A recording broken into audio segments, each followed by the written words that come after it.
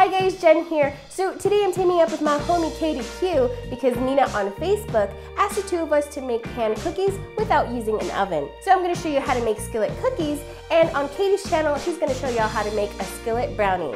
Now it may sound weird to make these on the stove top, but it's a great alternative if it's too freaking hot to bake or you don't even have an oven. Now the first step is to make your favorite cookie dough. I'm making a simple chocolate chip cookie dough by using softened butter, white and brown sugar, eggs, vanilla extract, flour, baking soda, salt, and of course chocolate chips.